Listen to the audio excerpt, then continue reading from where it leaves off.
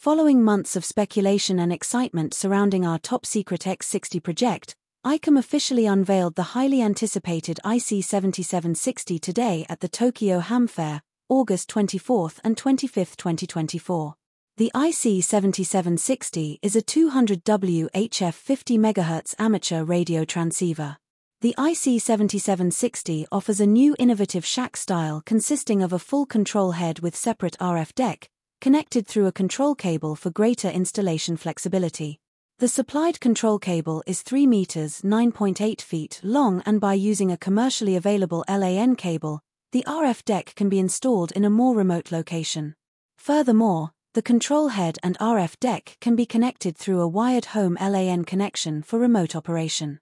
This simple configuration does not require a PC and can be easily operated from nearly anywhere in the home as long as a LAN connection is available. Main and sub-dual displays with touchscreen function are provided for improved viewing of information and also smooth operation.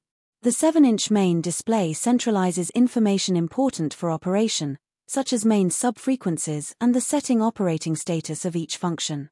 The newly adopted 2.4-inch subdisplay shows filter effects, various meters, and band stacking register keys. DigiSEL, digital preselector, and the preamp can now be used together. Digi-SEL prevents suppression of strong out-of-band signals, while the preamp improves receiver sensitivity. It also maximizes the dynamic range of the AD converter to avoid signal overflow.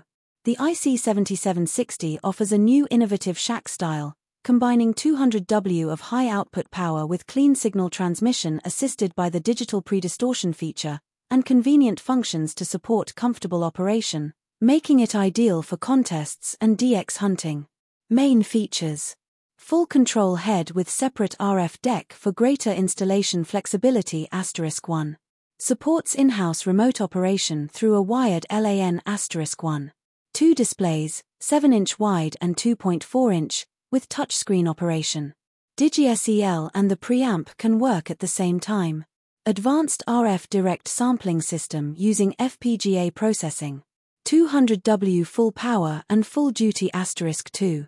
DPD, digital predistortion, 4 excellent IMD characteristics and clean transmitted signals. Asterisk 1 communication between the controller and the RF deck depends on the network environment in which it is used. Gigabit Ethernet is recommended. The controller can be used on a different network segment than the RF deck such as over a network switch asterisk 2 200W output and 1 hour continuous transmission with 100 tilde 200 VAC input at ambient temperature 25. Thanks for watching 73G0 DTX.